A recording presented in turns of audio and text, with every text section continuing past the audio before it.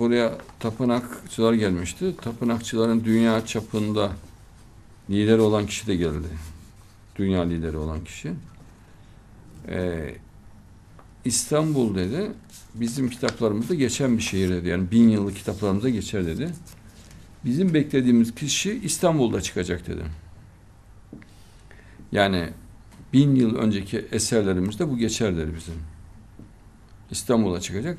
Ve biz o kişi çıktığında biz onu tanırız dedi.